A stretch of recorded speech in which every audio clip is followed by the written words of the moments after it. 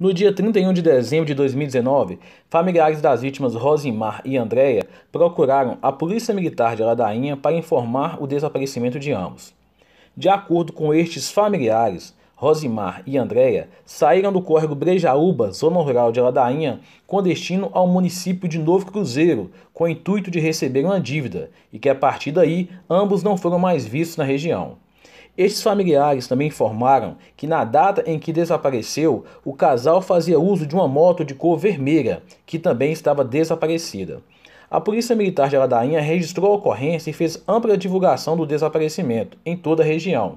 sendo que nessa última sexta-feira, o sargento Juarez, da cidade de Taipé, tomou conhecimento de que a moto utilizada pelas vítimas no dia do desaparecimento havia sido vendida por dois indivíduos desconhecidos na cidade de Taipé. O sargento localizou a moto e ainda conseguiu imagem desses dois indivíduos. Essas imagens foram repassadas à Polícia Militar de Ladainha e a guarnição, composta pelos militares Cabalcitos Costa e Cabo Edmar, deram continuidade aos levantamentos e, após intensas diligências à zona rural de Ladainha, Setubinha e Novo Cruzeiro, identificamos e localizamos os dois indivíduos que haviam vendido a moto na cidade de Taipé.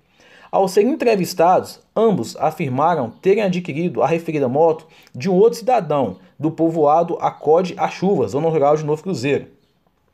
Após constatarmos que este cidadão era o mesmo que devia dinheiro à vítima, Rosimar, passamos a tratar o desaparecimento como crime e este cidadão como principal suspeito. E a partir daí, solicitamos apoio da Polícia Militar em Novo Cruzeiro, comparecendo à comunidade Acorde a Chuva a equipe do Sargento George e do Cabo Sena, e a equipe da Polícia Rodoviária Estadual, composta pelo Sargento Jean e Cabo Átila. Essas equipes, em trabalho conjunto, deslocaram até a casa do principal suspeito, que inicialmente negou qualquer envolvimento no desaparecimento do casal, mas após ser confrontado com as inúmeras provas, o mesmo acabou confessando o crime, que teria planejado com vários dias de antecedência, e ainda mostrando o local onde havia enterrado os corpos, em uma cova nos fundos de uma das suas residências. A arma do crime, um rifle com mira laser, também foi localizada pelas equipes policiais.